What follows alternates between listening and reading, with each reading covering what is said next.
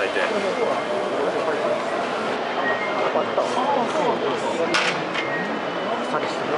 あれを5倍に伸ばし平行平行で売ったらいいや 500cc ぐらいで。エバラさんいみたいやあのペットだったらこのスペックができないんですよ。ななんで？これはあのレトルトだからできるちょっと商品スペックがありまし。て食べていいの？え？食べていいの？喋っていいですよ。あのうち独自のノウハウなんで